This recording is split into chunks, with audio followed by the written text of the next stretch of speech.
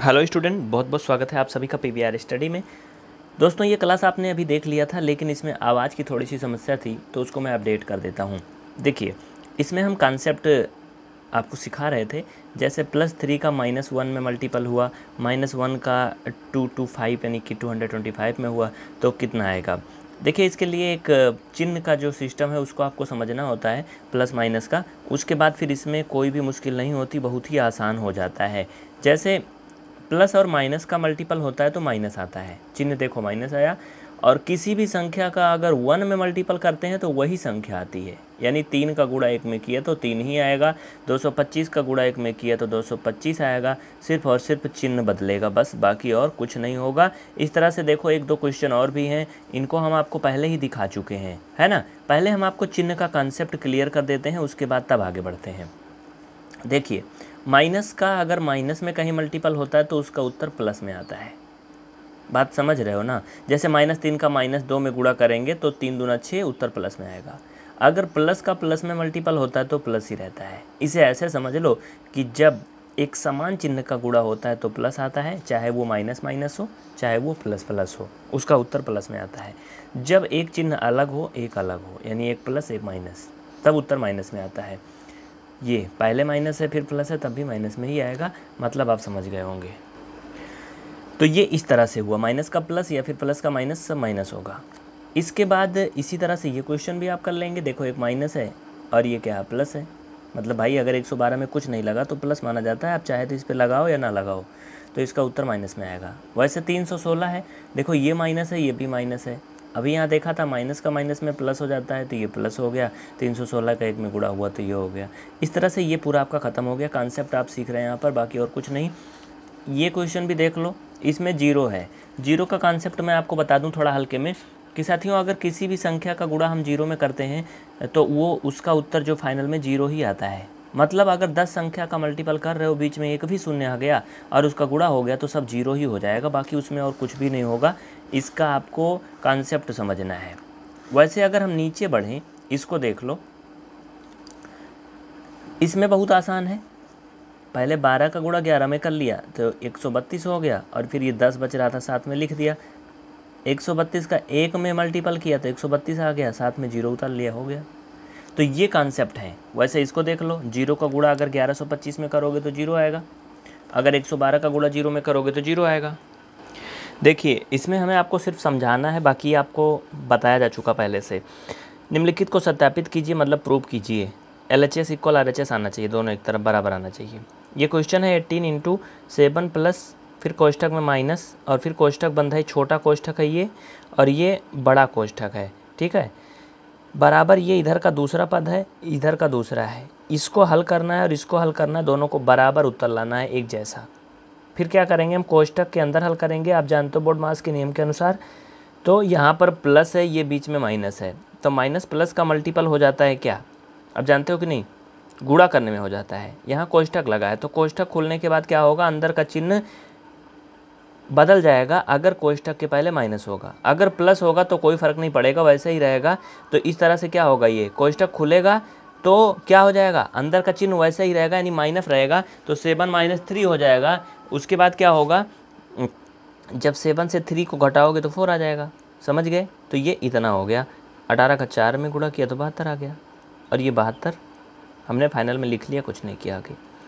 इसका गुणा कर लिया अठारह सत्तर एक सौ छब्बीस। आप इंग्लिश में बोलोगे एटीन सेवन जा वन ट्वेंटी सिक्स और ये एटीन और ये माइनस का थ्री मल्टीपल कर लो एटीन थ्री जा फिफ्टी फोर और ये प्लस में था, ये माइनस तो माइनस प्लस माइनस उसके बाद प्लस माइनस का चिन्ह खुलेगा तो बीच में माइनस आ गया।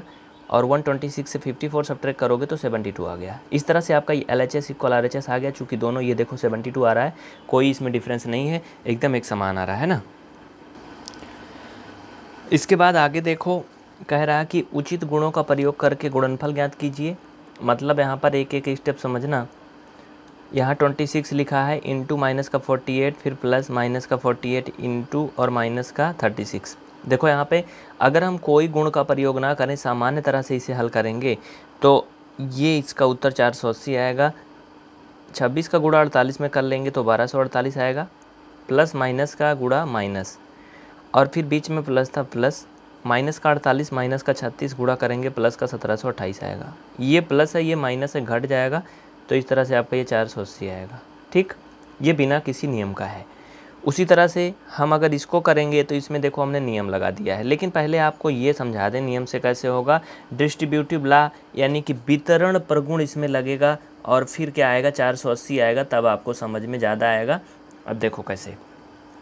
क्वेश्चन यही है, हम इसको दोबारा नहीं लिखेंगे। ध्यान से समझो। साथियों, यहाँ पर अगर आप देखो तो 48 है, इधर भी 48 है। यानी बीच में जो प्लस लगा है और ये इतना ले लो और इतना। ये दोनों अलग अलग पार्टी हैं। बीच में प्लस लगा, इधर भी गुड़ा इधर भी गुड़ा ना। इसमें से हम 48 कामन ले लेंगे।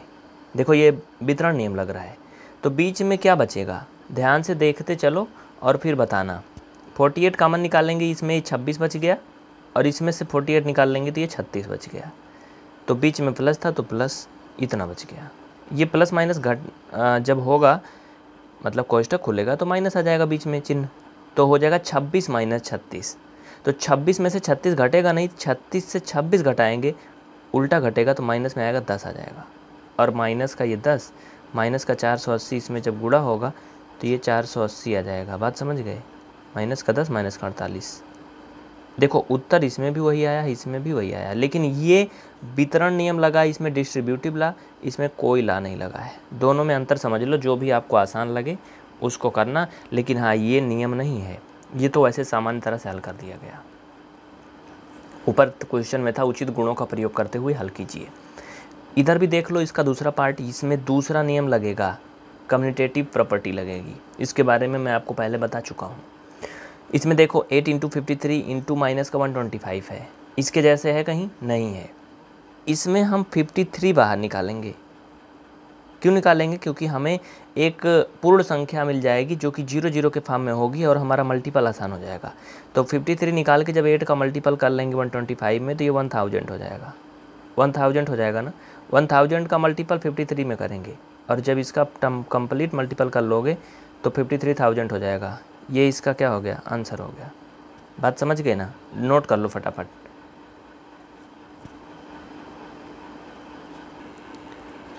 कम्यूटेटिव ला का अगर हिंदी में बात करें तो विनिमय गुण बोलते हैं। विनिमय गुण और ये वितरण पर गुण, है ना? आपने ये सब सीखा होगा शुरू की क्लास में तो आपको समझ में आ रहा होगा अच्छे से। इसके बाद चलिए आगे बढ़ते हैं। इसमें सिर्फ़ आपको समझना है। हमने इसे सब बता दिया था लेकिन आवाज़ सही नहीं थी, इसलिए अपडेट कर रहे हैं। निम्नलिखित में से प्रत्येक का मान ज्ञात कीजिए। एक्सरसाइज 1.4 है, क्लास सेवन्थ की मैथ है। ध्यान से समझना।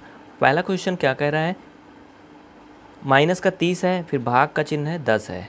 देखो, इसका मतलब समझो, कहीं भी अगर कोई नंबर लिखा हुआ है तो इसका मतलब है कि वो अनपान टेन के रूप में है। देखो, अगर कहीं दस लिखा है तो इसका मतलब ये केवल दस नहीं है। इसका मतलब ये दस बटा एक है। बात समझ रहे ना? ये दस बटा एक है। अगर इसको हम बोलें कि दस को उलट दो तो दस को उल्टोगे तो एक बटा दस होगा। मतलब पलटने के बाद ये वन हमेशा छिपा होता है। तो इसी आधार पे इसमें भी हम देखेंगे ये माइनस का तीस था, भाग का चिन्ह था, फिर दस था। इसका मतलब ये दस बटा एक था। तो भाग का चिन्ह हटाते हैं, ये नियम होता है गुड़ा का चिन्ह लगा दिया जाता है। उसके बाद जो दस बटा एक था, ये पलट के एक बटा दस हो जाएगा।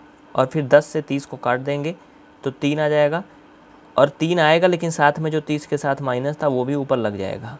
अब इस माइनस तीन का गुड़ा इस तीन में, इस वन में करेंगे तो ये तीन हो जाएगा। बस ये हो गया पहला साल। दूसरा देखिए, पचास को भाग है किसमें? माइनस का पाँच में। अब इसे ध्यान से देखना। पचास को वैसे लिख देंगे, भाग का चिन्ह की जगह गुड़ा लगा देंगे, और ये माइनस का जो पाँच है ना, इसका मतलब ये पाँच बटा एक है। तो भाग का चिन्ह हटा के गुड़ा लगाएँगे तो उलट जाएगा, माइनस का एक बटा पाँच हो जाएगा। और फिर पाँच से इसको काट देंगे। तो पाँच से काट देंगे कितना आएगा? दस। इस तरह से ये माइनस का दस हो गया। आगे सी वाला देख लो इधर साइड में। माइनस का छत्तीस, डिवाइड बाई माइनस का नौ। फिर इसमें क्या करोगे? माइनस का नौ बटा नौ बटा एक, माइनस का छत्तीस, फिर गुड़ा का चिन्ह लगाओगे और ये माइनस का जो नौ बटा एक है, ये पलट जाएगा, एक बटा नौ हो जाएगा। समझते चलना? चूँकि यहाँ पे भाग है तो भाग का चिन्ह हटेगा तो गुड़ा का लगेगा। तो ये जो नौ बटा एक है, वो क्या हो जाएगा? एक बटा नौ हो जाएगा। इस तरह से कितना आएगा? नौ से काट दो, चार आएगा। ये माइनस चार हो गया। और चार का एक में गुड़ा कर लो, माइनस चार का माइनस एक में तो माइनस माइनस गुड़ा हमेशा प्लस हो जाता है और फोर का फोर ये प्लस फोर हो गया।